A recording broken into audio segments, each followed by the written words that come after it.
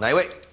哦，孙娜来，嗨，就是我，哎，酸辣鱼就如同刚刚学姐有提到，女性只要到了三十几岁之后，她的气，呃，等一下，说话必这是她的特色，你不能学人家。不，我紧张有时候会这样哦，。你也会啊？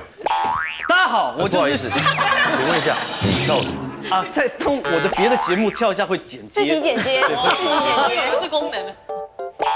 是的，我就是新进的情报员酸辣鱼啊。刚刚学姐有提到，女性在过了三十岁以后，她的体重会直线的飙高。而身为一个女性观察者呢，我就发现了一个现象，她们都会执行一种叫做低脂减肥法。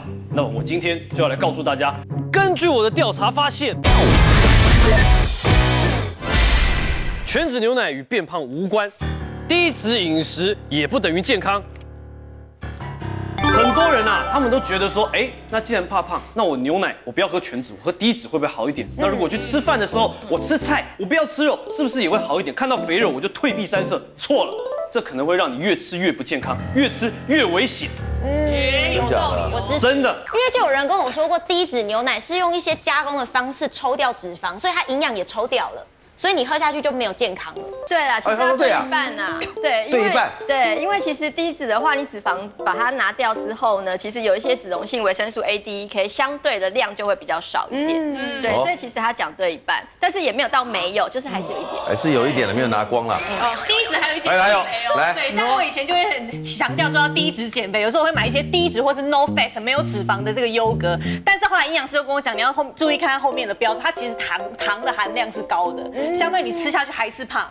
因为它虽然没有脂肪，但是它有糖分。没有脂肪不代表没有热量。对，全脂牛奶与变胖无关，吃低脂的饮食也不等于健康。请问五大名医金牌医师团，您认同吗？请举牌。恭喜全胜姐，掌声，漂亮。谢谢。怎么会是这样？加一颗鲜奶好不好？来，曾博士，我们知道，我们吃东西会有饱足感的是油脂、跟蛋白质，还有纤维质，这三样东西都可以让我们有饱足感。嗯，可是呢，往往很多人把油脂跟蛋白质不吃的时候，它会出现提早饥饿的一些问题。那提早饥饿可能就会吃的比较多，就可能会出现肥胖的一些问题。但是呢，就是吃的东西对或不对。那我曾经有一个非常年轻的，大概只有二十二岁的一个女生，那她会觉得说，她要减重，她就必须一定要把油脂给去除掉。所以呢，她是去油去到什么程度？她连煮过的菜都要在水里面先过过，之后她才吃。所以她真的是不进油，什么油都不进，肉也不吃，那她就吃蔬菜，然后偶尔就有一些淀粉这一部分。吃到最后呢，头发开始掉，对，指甲开始裂，嗯，皮肤开始皱，然后呢，月经开始乱。她本来想要生孩子，但是月经乱了，一直没有办法怀孕，也没办法生孩子。这来到医院里面，医院检查就说，哎，你是营养不良。后来还是要请她说要恢复到正常饮食，才能够慢慢的从饮食的方法去把它改善，她的月经跟皮肤慢慢才有在恢复。就就肝胆肠胃科来说，低脂饮食的习惯对于肠胃道有什么样的影响？徐斌医师，是，其实现在因为大家常说吃的太油了，胖的人多，所以一直强调低油的饮食，但是也不能够矫枉过正，因为脂肪是我们人体必须要的这个营养素，对还是要适当的摄取才行。嗯，像脂肪在我们胃肠道来讲，它其实有很重要的功能，就有一个润滑的功润滑，能。有时候你完全不吃油的时候，有时候便秘啊，可能会变本加厉。对，像我以前有一个四十五岁的一个女性哈，她本来就已经有便秘的问题，啊、差不多呃三天才解一次大便，结果她又很想减重，所以呢，她就有一天就开始严格的控制她的这个这个饮食，然后就是青菜全都用穿烫的，啊、也也不吃，也不用呃也不用炒的，像肉来讲呢，她也不吃啊、然后呢，喝牛奶就用吃那个脱脂的，所以它脂肪摄取真的是非常的少。那所以纤维素虽然说吃的很多，哎，但是呢，它的便秘反而更严重了，变成一个礼拜才大一次。那基本上就是说，你可以少吃油没关系，但是你三餐的菜至少有一餐你要用用炒的，对，还是要摄取到基本的油。那另外肉来讲呢，你三餐至少要有两餐有吃到肉，你可以吃瘦肉没关系蛋白，因为你那个肉里面呢，瘦肉里面也含有一些脂肪在，呃，有适当的脂肪摄取哈，还对我们的这个维生素的脂溶性维生素的吸收很有关系。讲到重点了，嗯，维生素里面有 A、D、E、K 嘛，对不对？就脂溶性维生素，它就要用油去帮忙。对。你只是穿烫水煮，那个非常非常的可惜浪费。是，尤其像有时候大家在补充一些维他命 E 的时候，嗯，要注意要不要饭前吃，一定要饭后脂溶性维生素吃。不要空腹，哎，你空腹的时候根本没有，你怎么吸收？哦哦，所以一定是吃完饭以后白吃对再吃。，就白吃了。那基本上小孩子适合吃低脂的吗？低脂的牛奶对于发育中的孩子有没有影响？慕容先生，是，其实我在门诊的观察哈，有些爸爸妈妈给孩子吃低脂食物或者是低脂牛奶，主要两个原因。一个原因是说我们家族里面有高血脂啊，所以我们孩子也不要吃太多的这个脂肪类的食物，或是喝全脂牛奶。那另外一个原因是说怕孩子肥胖。可是实际上，我要提醒很多爸爸妈妈哈，其实孩子这个肥胖不见得是因为吃全脂，或者说呃吃太多脂肪类的食物，再加上孩子其实很少血脂的问题，所以其实不需要那么严格限制脂肪的摄取。我自己诊所有一个六岁的孩子哈，三十二公斤。正常的六岁孩子大概二十公斤出头左右而已。那实际上我都跟妈妈讲说，哈，在外国甚至有进一步的研究说，一群孩子喝低脂的牛奶，一群孩子喝全脂的牛奶，结果大数据的研究发现说，喝低脂牛奶这个族群的孩子反而比较胖。那为什么会有这样子大家想法上的差异？他们后来的推测是，喝低脂牛奶的这一部分的孩子，他可能比较容易饿，他反而就比较喜欢去从别的食物里面去摄取。那我就问了这个妈妈，妈妈也说，对啊，他就觉得这个孩子，我让他喝低脂牛奶，我不给他吃这个脂肪类的食物，我就看他他常常说会饿，那白饭多吃一点，我爸妈妈就觉得反正都已经避开那些脂肪类的食物了，反而其他热量的摄取超标，反而造成他的肥胖。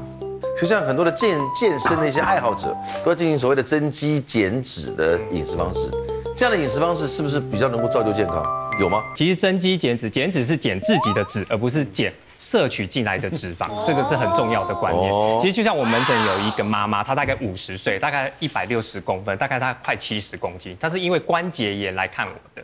那关节炎，膝盖关节炎最重要就是减重。她听到我要增肌减脂，她几乎就是很多的脂肪摄取，她就不如说脱脂的牛奶，几乎很多都不摄取油脂。可是三个月过后，那时候来了门诊的时候，你就可以看到她整个精神啊，还有皮肤都变得比较没有光泽。其实我们知道，其实那个脂肪哦，其实在全身的细胞膜都是脂肪的组织，还有我们的大脑，其实百分之六十都是脂肪的构造。当你脂肪摄取的含量不够多的时候，第一，你的皮肤的光泽度就不太够，你思考的快慢也会变得比较缓慢一点点。所以，其实，在脂肪在我们人体的摄取，尤其在减重。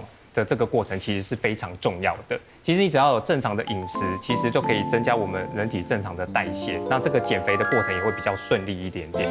那吃全脂的食物是不是比较不会增加？难道难道不会增加心血心血管疾病的问题吗？而且它适合老人家吃吗？我先讲全脂牛奶，因为这个是大家最喜欢的议题。嗯，现在因为我们的那个营养的一个就是去告诉大家说，饮食指南里面告诉原本从低脂，然后改成告诉国人说，哎，你可以喝全脂了。为什么？因为以我们的营养调查，我们国人喝牛奶的量根本就不够。